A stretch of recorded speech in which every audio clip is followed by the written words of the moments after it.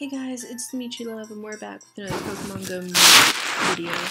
In this video, apparently Central Park is now a nest for Charmander. So if you haven't gone your Charizard yet, I would definitely go to Central Park and get your Charizard. Obviously, I'm using the hacked version, uh, the Tutu app, so yeah. Uh, here you see another two Charmander. And so I finally got one, well, 125 uh, Charmander candies, which is what I needed to get a Charizard. Uh, so I evolved my Charmander, got Charmeleon, registered to the Pokedex.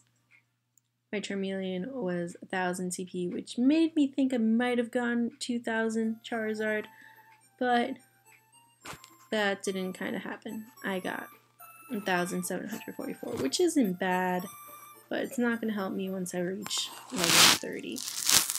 Uh, but that's pretty much my video, guys. Like, comment, and subscribe.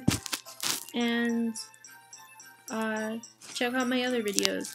I made a video um, commenting on Sun and Moon, the beginning scene, which is like awesome because it shows you the background story of Lillie, and also uh, the second scene, which pretty much tells you a bit of Kukui's uh, life. Also, I have Sun and Moon main uh, story, and uh, the new Pokemon that's supposed to be a UB, an Ultra Beast as well, and also have a really quick theory video of this three spin Spinda but only two mysterious guys since they all are like the same pattern and the same NPC so you guys should check that out.